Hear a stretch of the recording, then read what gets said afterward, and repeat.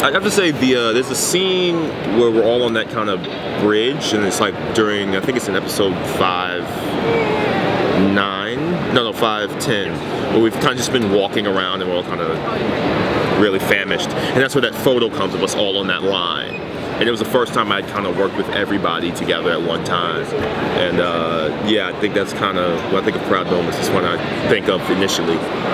Yeah. Did uh, Marvel give you any calls after you made your statement about uh, Miles Morales? You mean my statement that wasn't a statement that went viral and Yeah. I didn't think it would? um, uh, no, I mean, no, they ended up going with uh, with Peter anyway. So uh, that's just the route they ended up going. I ended up having a uh, really interesting conversation with uh, Reggie Hudlin, um, who I've known for years, uh, about that stuff, of how that just went nuts. Uh, and I was just an- answering a hypothetical. Um, I mean, if they decide to go with Miles, it'd be, it'd be fun. And I'd love to at least give it a shot, but it doesn't look like you're going that way.